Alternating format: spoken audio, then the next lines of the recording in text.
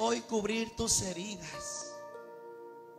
Y Dios dice, ya pongo el manto mío sobre ti. Ahora no te lo quites.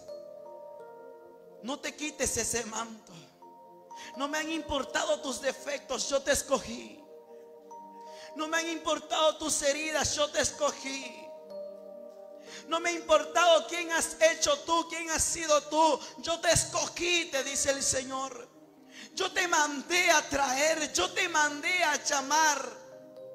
¿A cuántos el Señor ha sacado de lo de bar? ¿A cuántos el Señor que estamos aquí nos sacó de la miseria, nos sacó del lugar de las tinieblas, nos sacó del pango del pecado? ¿A cuántos en esta noche el Señor nos sacó del lugar donde no había esperanza?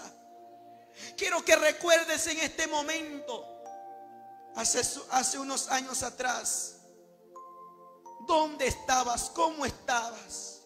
Tal vez estabas como Mefiboset en un lugar llamado Lodebar. Tal vez estabas en el alcohol, en la prostitución, en el pecado, en el fango.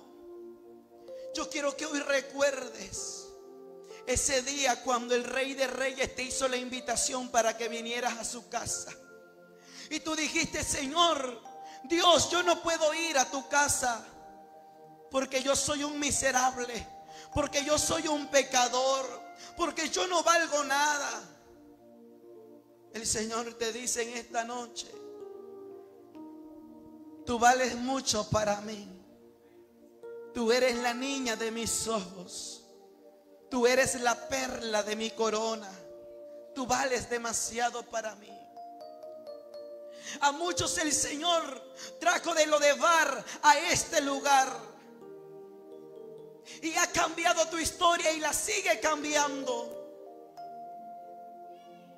Y Dios dice en esta noche, ahora quiero que tú seas como un Siba Vayas a lo de par donde no hay esperanza, llevando una esperanza, diciéndole al mundo que está en lo de par que hay una esperanza en Cristo Jesús, que hay una esperanza en nuestro Dios, que el Rey los está mandando a traer a su casa, a sus brazos.